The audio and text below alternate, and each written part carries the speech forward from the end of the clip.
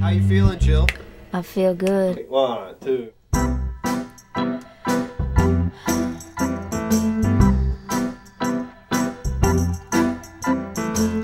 So you got no time for me? Oh yeah, you got big things to do. Well, my sweet chickadee, I got hot news for you.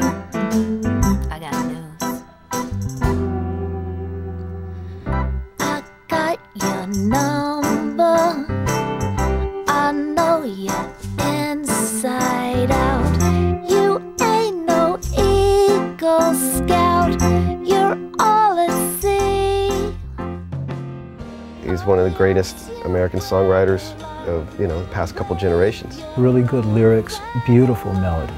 It's crafted so well, the way that the rhymes and the repeated words are, and you're like, you know, they, they, the kids don't write like that anymore. I don't write like that. I've got your number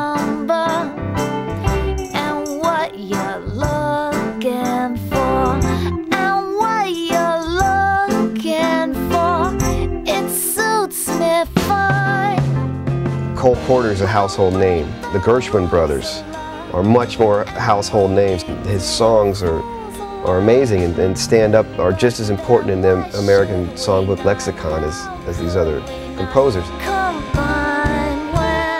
His name came up in this meeting, and it was sort of the, last thing I kind of expected in this day and age to like uh, someone at the music company going, hey, what do you think about Cy Coleman?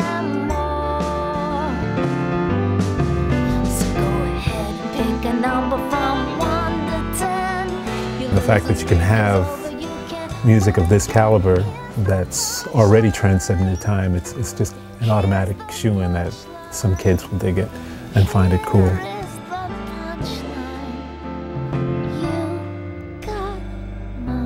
If you're doing a tribute record to this great artist, this great writer, that a big part of what ends up happening with the record is that people are brought to the awareness of who he was.